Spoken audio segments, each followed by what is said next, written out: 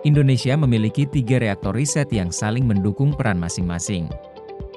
Reaktor Triga Mark II di Bandung, Reaktor Serbaguna GA Siwabesi di Serpong, dan Reaktor Kartini di Yogyakarta. Reaktor Kartini difokuskan untuk pendidikan, pelatihan dan penelitian terkait fisika reaktor atau fisika inti. Reaktor Kartini yang berada di kawasan Sains dan Edukasi Ahmad Baikuni Brin adalah reaktor tipe 3, Training, Research, and Isotope Production General Atomic, Mark II. Saat ini, reaktor Kartini dimanfaatkan sebagai media pembelajaran tentang iptek nuklir.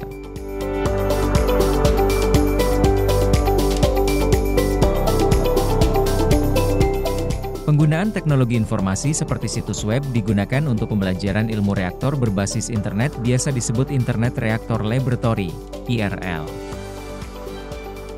Dengan IRL, masalah jarak antara mahasiswa dan reaktor dapat diperkecil untuk efisiensi dan efektivitas pelaksanaan pendidikan dan pelatihan. Uh, praktikum IRL ini mempelajari terkait dengan fisika nuklir, fisika inti, dan juga kimia inti. Kemudian di dalamnya terdiri dari berbagai menu-menu antara lain untuk yang fisika inti itu ada praktikum bagaimana cara mengoperasikan reaktor nuklir Kartini. Kemudian ada praktikum bagaimana mengukur daya reaktor nuklir. Kemudian ada praktikum bagaimana menghitung jumlah neutron. Ada praktikum terkait dengan keselamatan, yakni keselamatan reaktor nuklir terkait dengan koefisien reaktivitas negatif.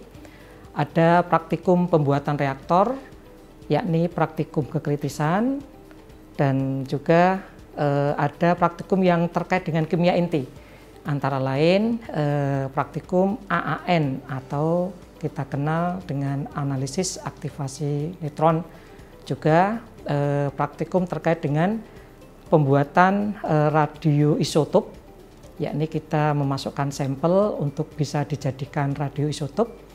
Kemudian ada praktikum yang masih terkait dengan kimia inti, yakni eh, bagaimana radiasi itu bisa dideteksi dan juga bisa dikenali dari sumber-sumbernya dan peralatannya.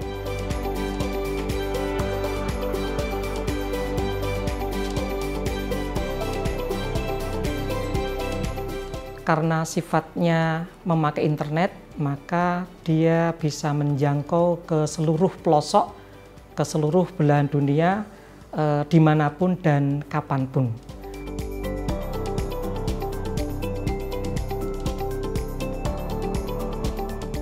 Karena ini kita menggunakan media eh, pembelajaran jarak jauh, maka terkait dengan keselamatan dari peserta praktikum IRL tentu saja lebih terjamin karena mereka tidak harus datang langsung ke fasilitas nuklir yang tentu saja harus mengikuti prosedur-prosedur ketat. Namun bisa kita eh, lihat secara langsung secara live dengan puluhan kamera yang telah kita pasang.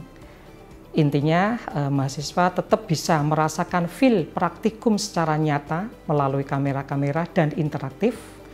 Dan yang berikutnya adalah data-data itu kita kirim secara real time juga. Keunggulan yang ketiga adalah eh, ini praktikum yang data-data praktikumnya tidak hanya dicatat secara manual oleh, oleh praktikannya atau mahasiswa ya, tetapi kita eh, sudah sambungkan melalui akuisisi data. Artinya data-data mengenai berapa suhu berapa daya, berapa tekanan, semua parameter praktikum kita kirimkan di database di website irlkartini.brin.go.id dan nantinya mahasiswa setelah melalui hak akses bisa mendownload yang berupa file Excel sehingga bisa dengan mudah untuk dibuat laporan dan ditampilkan dalam berbentuk grafik yang lebih interaktif.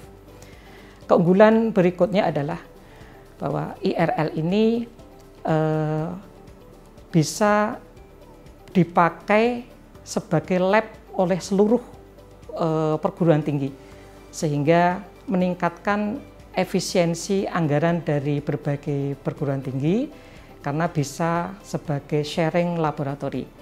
Yang telah menggunakan uh, fasilitas IRL Kartini kita adalah ada dari domestik dan juga dari Asia Pasifik.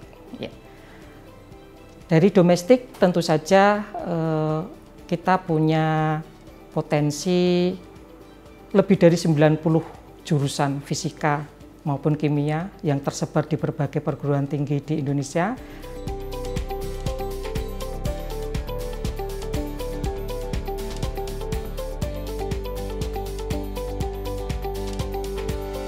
dampak nyata yang telah dirasakan uh, oleh kalangan pendidikan ya di dunia pendidikan terkait dengan IRL Kartini ini adalah berubahnya uh, model praktikum ya dan pembelajaran. Jadi setelah pandemi uh, semua kan dituntut untuk tetap produktivitas dari mana pun dan kapan pun. Internet Reaktor Laboratory (IRL) adalah terobosan BRIN dalam pendidikan dan pelatihan, khususnya terkait fisika reaktor untuk menciptakan SDM iptek yang unggul. Dengan begitu, generasi baru akan lebih memahami teknologi nuklir, siap menghadapi tantangan masa depan, dan berkontribusi pada kemajuan ilmu pengetahuan dan teknologi di Indonesia.